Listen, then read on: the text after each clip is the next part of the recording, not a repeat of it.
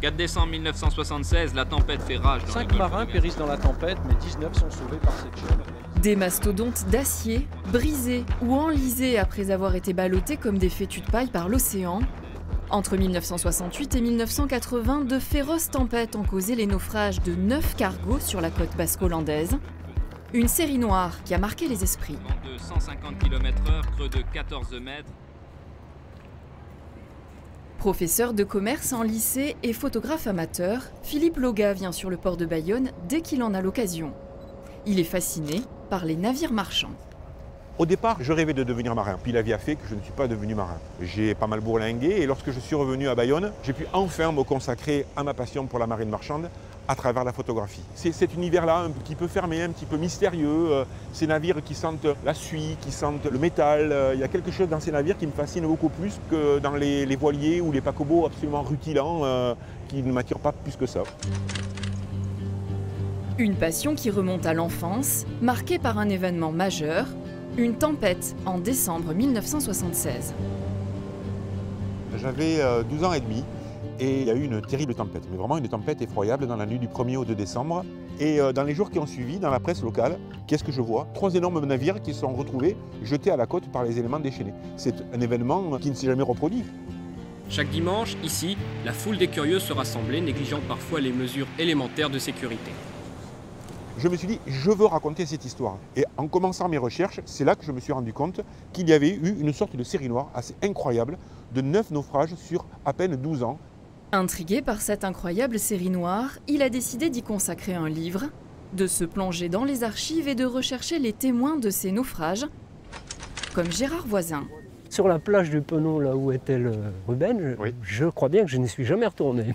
Parce que que vous- c'est un souvenir très fort, mais euh, bon et moins bon aussi. Profondément marqué lui aussi par le naufrage du Ruben en 76, il avait 25 ans lorsque ce cargo panaméen s'est échoué ici sur la plage du Penon à Seignos. Personne ne parvenait à le renflouer. C'est son père et l'entreprise familiale de travaux publics qui ont relevé le défi. Les compagnies d'assurance avaient euh, renoncé. Donc mon père a racheté le bateau, il est devenu propriétaire. C'était un homme de défi, c'est les défis techniques qui l'intéressaient. Il a dit moi je vais le faire. Une opération titanesque qui a duré 8 mois et coûté l'équivalent d'un million d'euros.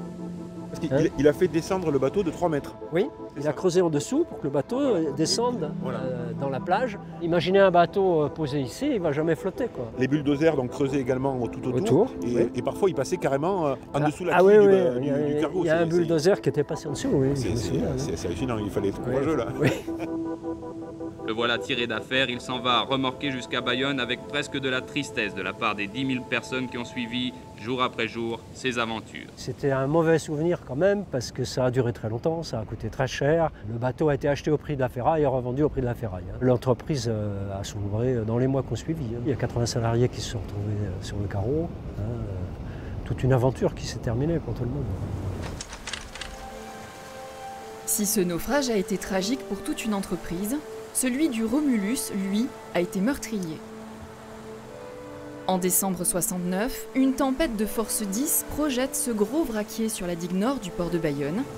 Il se brise en deux, l'avant coule immédiatement emportant 5 personnes. 21 marins se réfugient à l'arrière. Ils sont tous réfugiés à l'intérieur de la cheminée. Donc il faut imaginer ces marins terrorisés, il n'y a plus de lumière, il fait nuit, la tempête souffle, ils se croient perdus. Et euh, un véritable héros décide de, de parcourir les- le, le- le kilomètre de digue sous les bourrasques, sous la pluie, et sous, sous le vent. Euh, Parfois il devait euh, se coucher par terre, armé d'une simple lampe torche. Et euh, là-bas, arrivé au bout, avec la lumière, il a vu l'épave. Et j'ai vu ce bateau euh, brisé sur la digue avec des marins qui faisaient des appels désespérés. Et alors là, euh, nous avons décidé d'intervenir avec le concours d'un engin qu'on appelle Titan à Bayonne qui est une grue immense, qui pèse 500 tonnes. oui. Et ils ont euh, avancé euh, la grue euh, jusqu'au bout de, de la digue. Et arrivé là-bas, ils ont tenté une manœuvre absolument incroyable. Julien Miniconi, toujours lui, est monté sur le crochet. Et il descend jusqu'au pont du bateau, euh, par- par-dessus lesquels euh, les vagues euh, passaient. C'était absolument effroyable comme, comme situation.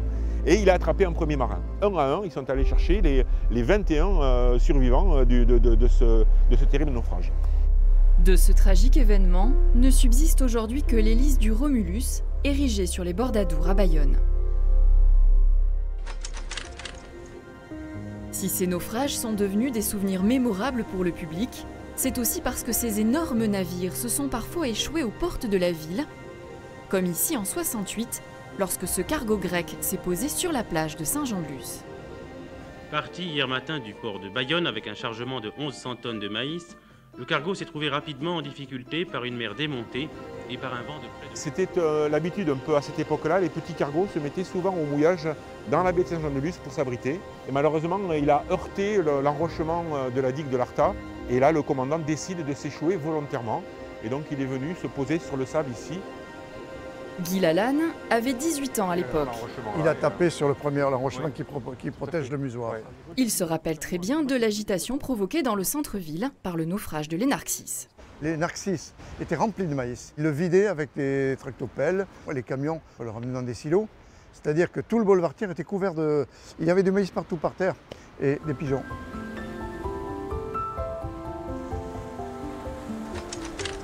Neuf cargos inexorablement repoussés par les éléments vers le littoral basque-hollandais, une telle concentration de naufrages n'est pas si fréquente, mais elle s'explique. Les bateaux arrivent à Bayonne, repartent de Bayonne. Donc, il y a une concentration de navires importante. Ici, on est au fond du golfe de Gascogne.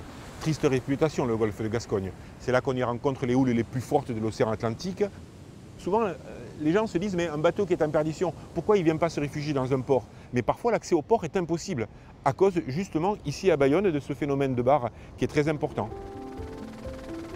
La précédente série noire avait eu lieu dans les années 30, une nouvelle semble avoir débuté à la fin des années 90, avec des naufrages spectaculaires comme celui du Luno à Anglette.